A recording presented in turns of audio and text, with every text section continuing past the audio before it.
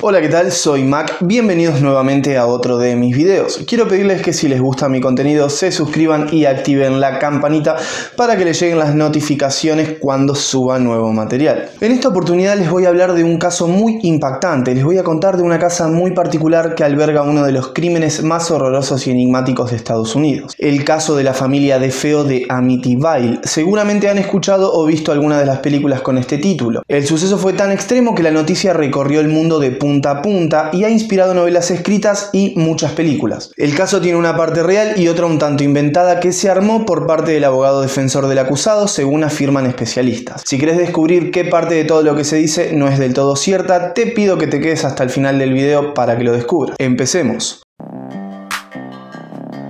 En la casa ubicada en el 112 de Avenida Ocean de la ciudad de Amityville, en Long Island, dentro del estado de Nueva York, en el 1965 la familia de Feo compra la casa de estilo colonial, muy grande y muy llamativa y se mudan allí. Era una familia compuesta por siete personas, Ronald y Luis de Feo, que eran los padres, y sus cinco hijos, Ronald o Butch, como le decían sus amigos, Dawn, Allison, Mark y el pequeño John Matthew. La vida en esta casa fue bastante complicada para ellos. El padre de familia fue descrito como una persona muy agresiva, a tal punto que sus hijos se habían acostumbrado en el día a día a innumerables peleas entre los adultos y hasta violencia física. Y sin ir más lejos, se afirma que a Ronald Jr. le tocó la parte más cruda por ser el hijo mayor del matrimonio. Se cuenta que de chico Ronnie sufría de sobrepeso y que esto habría sido un factor clave para que su paso por la secundaria sea algo tortuoso. Sumado a esto, el trato del padre y las exigencias en la casa hizo que tenga una adolescencia bastante complicada. Conforme con el paso del tiempo, Ronald empezó a desarrollar una personalidad bastante agresiva, motivo por el cual sus padres no dudaron al momento de hacerlo tratar con un psiquiatra.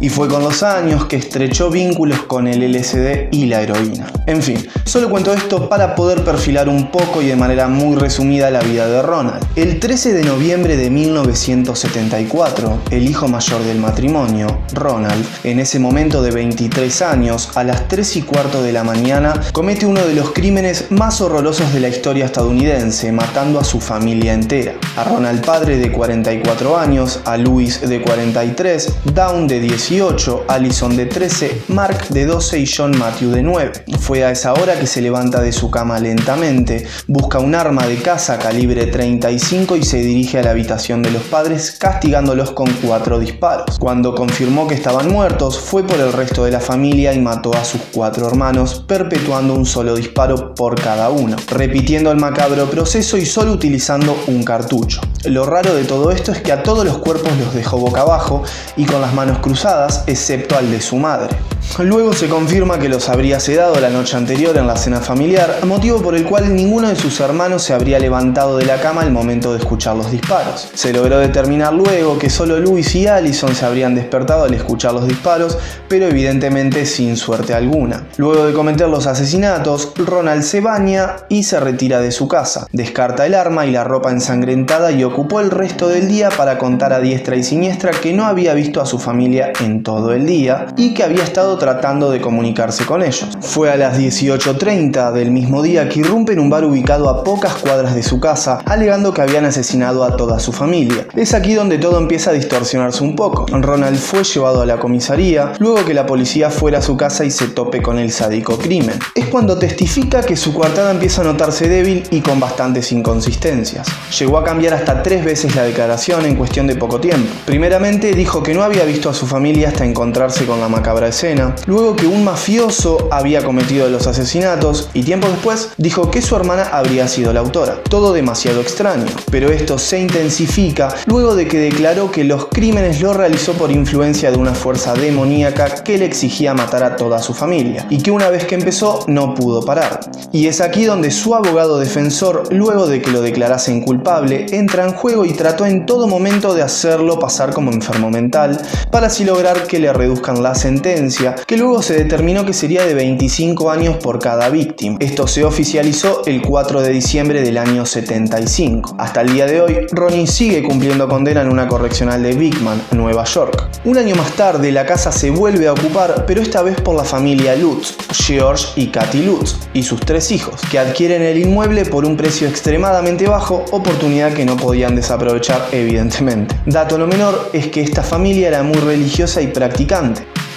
La nueva familia fue muy consciente en todo momento de lo que había sucedido allí, así que supuestamente deciden llamar a un cura para que bendijera la propiedad y así librarlos de las malas energías que se encontraban allí momento es donde el terror empieza a invadir la horrorosa historia de la casa del 112 de Avenida Ocean. En el momento que el cura pone un pie en la casa, una voz demoníaca proveniente de adentro le grita que abandonara el lugar, cosa que hizo que el cura efectivamente se retire. Pero fue solo el comienzo. Invasiones de moscas en la habitación de costura, manchas de humedad sin razón aparente, sonidos extraños, olores asquerosos y un frío extremo fueron solo los primeros avisos de actividad paranormal, cosa que según los Lut se fue intensificando, siendo el más afectado por todo esto George, el padre de familia. En repetidas ocasiones se levantaba a la misma hora que Ronnie había cometido sus crímenes, 3 y cuarto de la mañana, y empezaba a sentir un frío inigualable y experimentaba eventos muy poco normales. Luego, su pequeña hija, Melissa, se empezó a relacionar con una amiga imaginaria llamada Jodie, al igual que una de las pequeñas hijas del matrimonio de Feo, que en repetidas ocasiones se manifestaba en la casa y dejaba a todos muy intranquilos, porque no tenía un aspecto amigable. De todas maneras, los pequeños hijos desde el primer momento que se mudaron allí fueron conscientes de los asesinatos.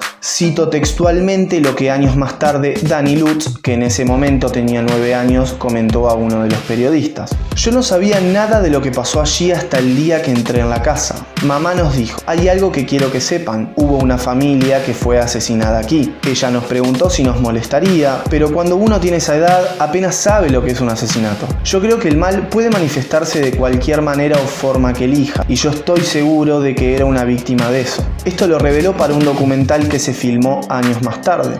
Todo se descontroló el día que Dani y su hermano se levantaron a la madrugada con sus camas en el aire chocándose contra la pared. Fue en ese momento que la familia decide irse inmediatamente. Lo sorprendente es que solo habían pasado 28 días de su ingreso al inmueble. El caso se empezó a hacer más y más conocido. Había opiniones divididas al respecto, algunos creían por demás en los hechos paranormales y otros creían que la familia Lutz lo hacía solo por el dinero y la fama. Fue de tal magnitud que muchos expertos en el tema fueron a investigar la casa, entre ellos los Warren, Lorraine y Ed Warren, un matrimonio de demonólogos muy conocidos de Estados Unidos, que cubrieron los casos paranormales más extremos y famosos de aquella época, que hasta el día de hoy resuenan, y han inspirado la industria cinematográfica en repetidas oportunidades. Fue Lorraine en una oportunidad, en una entrevista, dijo que aquel caso de Amityville fue el que más los perjudicó espiritualmente y que habría sido un error haber estado porque este espíritu los siguió luego hasta su casa y atormentó a su pequeña hija. Afirmaron que fueron agredidos verbal, física y mentalmente por los entes que habitaban la casa. Este ente demoníaco en una sesión espiritista le habría mostrado los cuerpos de los de Feo Lorraine y le mostró que no solo eran las almas de los de Feo que estaban atrapadas allí. En la misma investigación, su equipo fotografió en la segunda planta a un niño de aspecto fantasmal